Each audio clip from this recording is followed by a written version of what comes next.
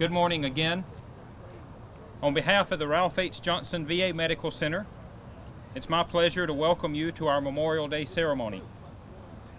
Thank you all for sharing in this occasion as we remember the brave men and women who gave their lives for our freedom.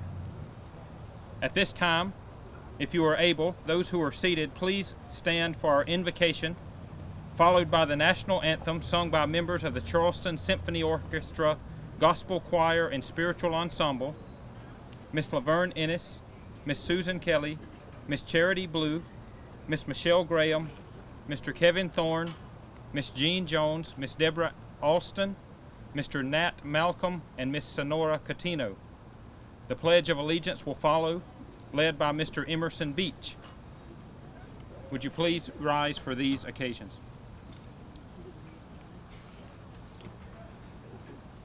First of all, I will offer our invocation. Would you join me in our invocation? Eternal God, we pause this day to remember those men and women who died in defense of our country so that we might all be free. We honor their names and memories as we recall the valor, the dedication, and the willingness to give their life as a supreme sacrifice. May we recall those men and women who fought in all conflicts our great country has been engaged in. May we praise your name and do good unto others today. Amen.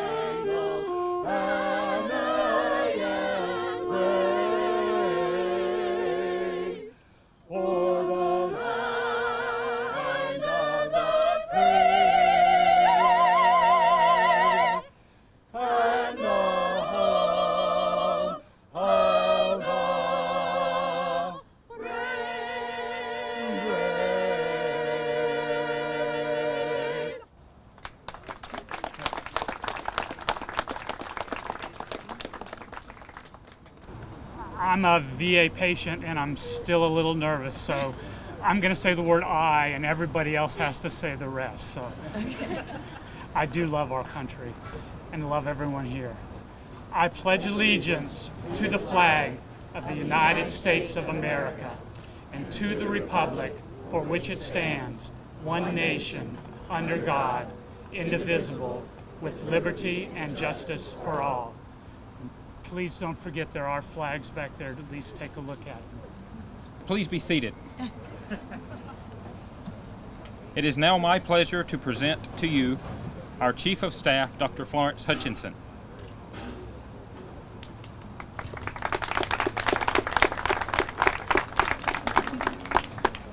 Good morning, everyone, and thank you for coming to join us for our Memorial Day ceremony. It's a very special occasion for you, and it's wonderful to see all the, the face, many faces and our many veterans that are here. So I'm honored to take part in paying tribute to the memories of the men and women who wore our nation's uniform and for whom duty to country meant great, if not ultimate, sacrifice.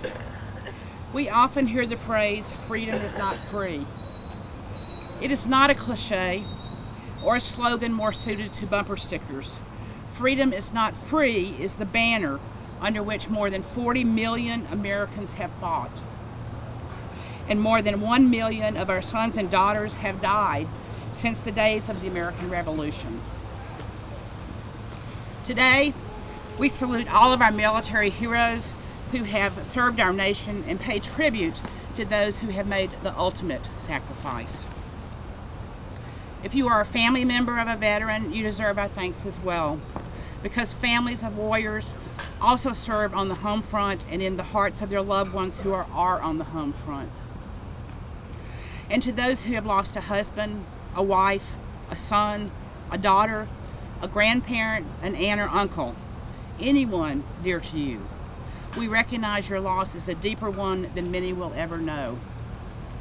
We are truly grateful for your sacrifice.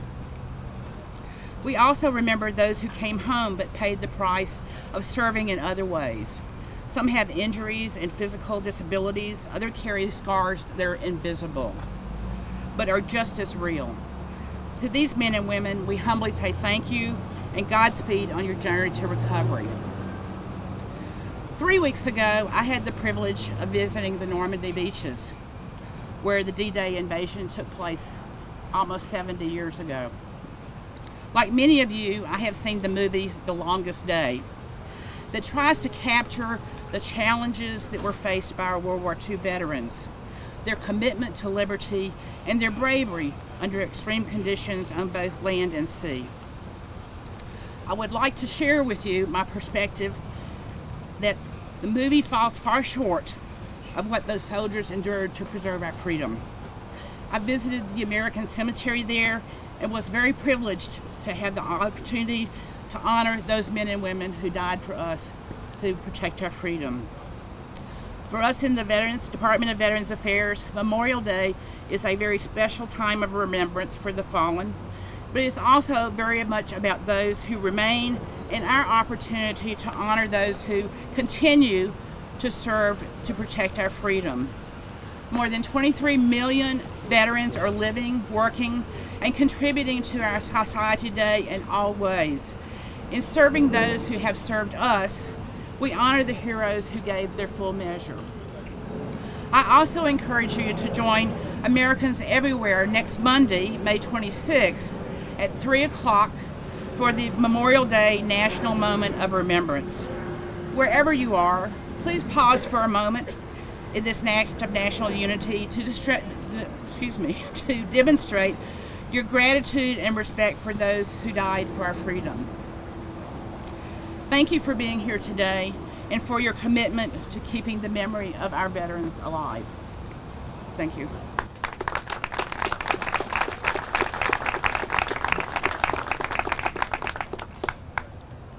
At this time, I would like to introduce to you a true American hero, Colonel Judith Hughes, commanding officer of the 628th Medical Group, 628th Air Base Wing, Joint Base Charleston. Colonel Hughes oversees medical services and medical readiness for the 628th Air Base Wing and the 437th and 315th Airlift Wings, providing health care for approximately 36,000 eligible beneficiaries. She is a graduate of the Air War College and completed her Bachelor of Science in Nursing at St. Anselm College in New Hampshire. Colonel Hughes, thank you for your service and thanks for sharing with us today.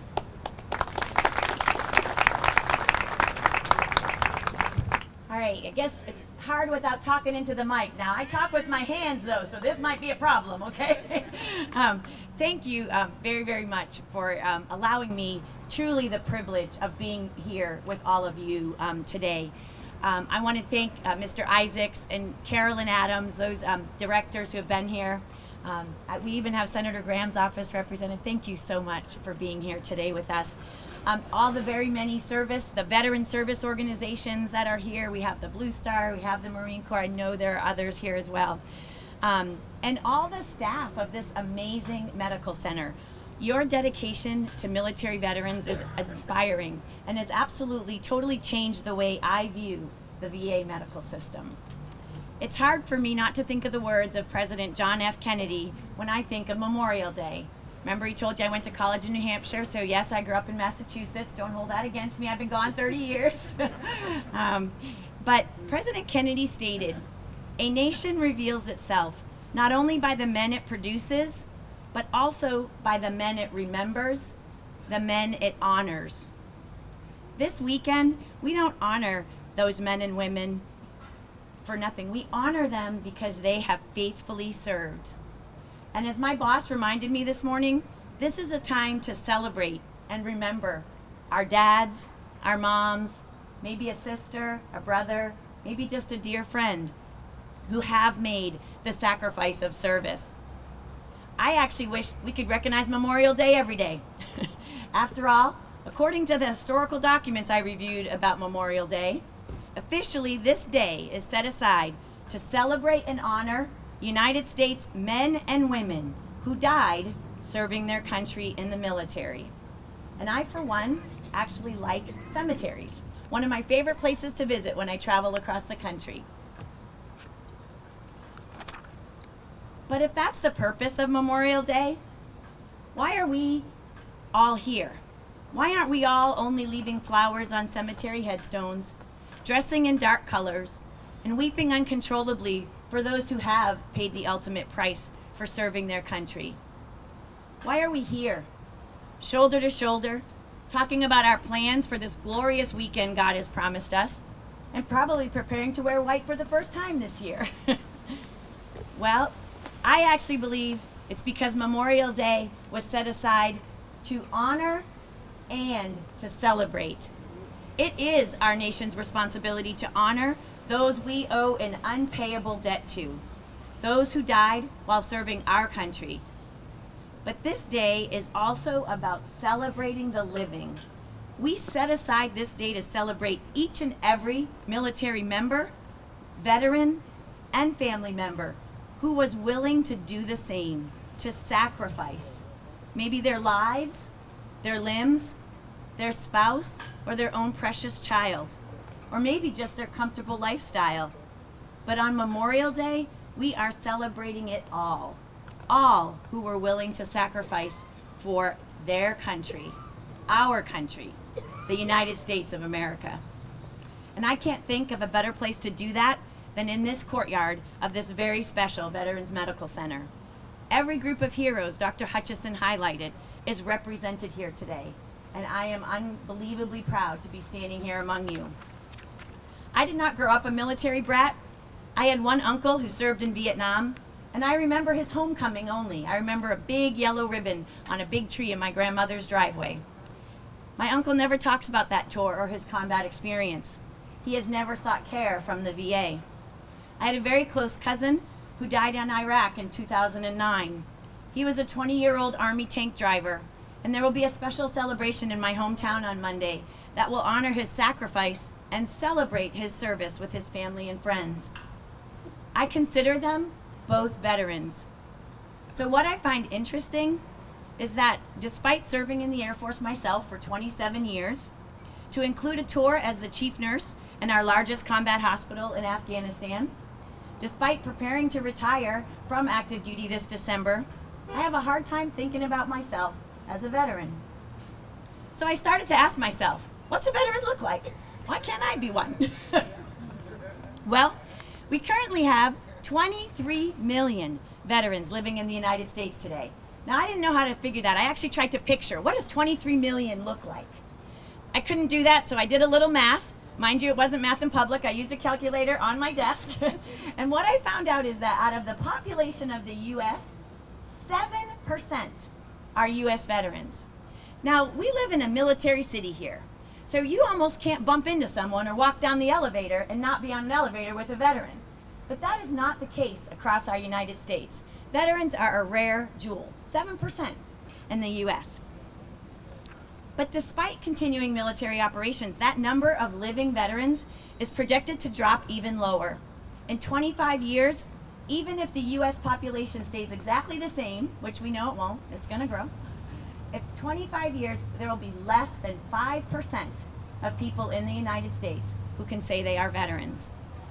I was encouraged to learn that 11% of those veterans are women. And, and I'll tell you why that actually surprised me. 15% of women serve on active duty in the military. So I actually expected that veteran number to be lower. So they're pretty close. 11% veterans, 15% active duty. Um, but the women population of veterans is actually going to grow. That 5% of all of us, 20% of that number is going to be women in 20 years. So that is a piece, a piece of that's changing. So it helped me say, okay, I could be a veteran. I'm getting closer. I could be there. Now, many of you know the story of the brilliant photographer whose work hangs in the Hall of Heroes inside. Sergeant Stacy Pearsall was an Air Force combat camera specialist. Stacy here today? I didn't see her. Okay. As she recovered from combat injuries sustained in Iraq, she spent hours in these VA waiting rooms surrounded by veterans from every generation and branch of service. Often, she was asked if she was someone's granddaughter. It was very rare that they assumed she was a veteran first. She had to explain that to them.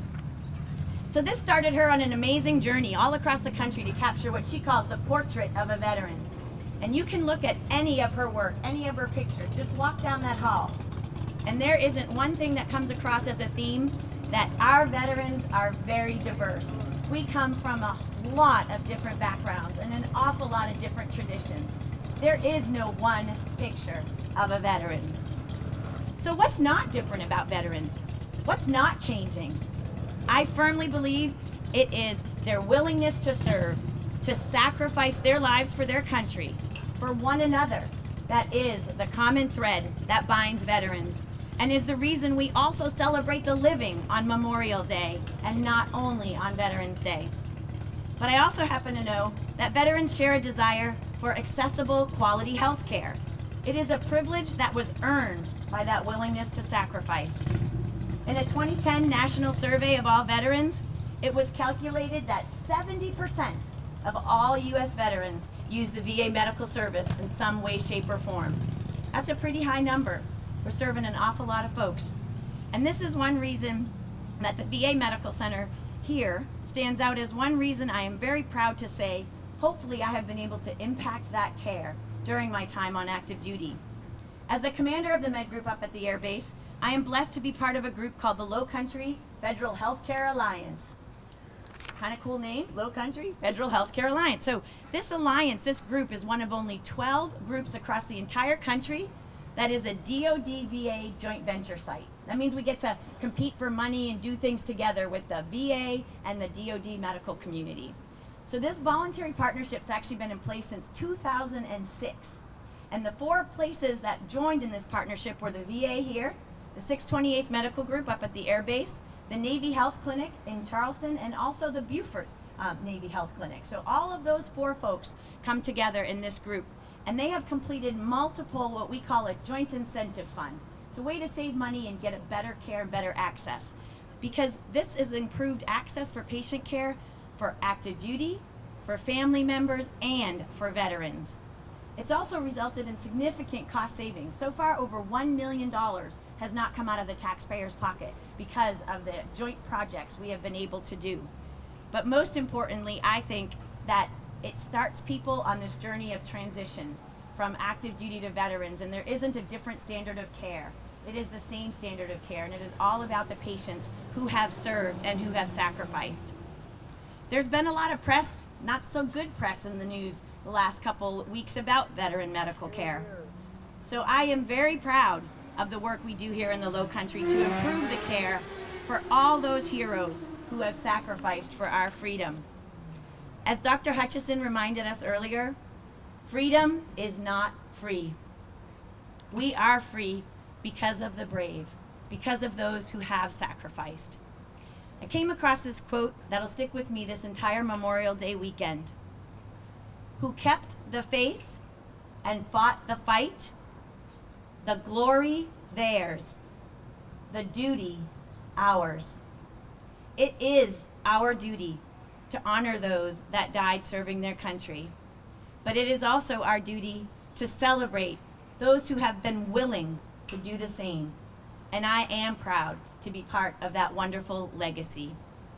Thanks to each and every one of you for all of your service, for what you do to support our nation and care for our military's most precious resource, its people. I pray you each have a wonderful, honor-filled Memorial Day.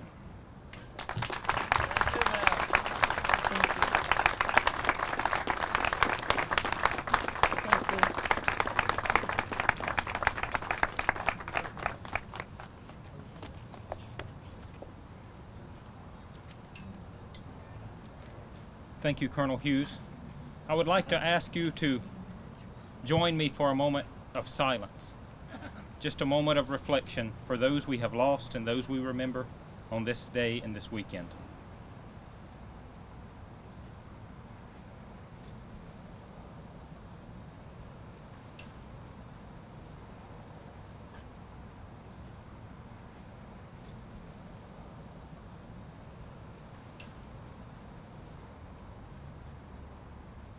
Thank you. Thank you all for being a part of our Memorial Day ceremony and for honoring our veterans. May God bless the memory of all who have made the supreme sacrifice for our nation and all of those who have served and were willing to make the same sacrifice if need be. I hope that you have a wonderful afternoon and a wonderful Memorial Day weekend. Thank you again.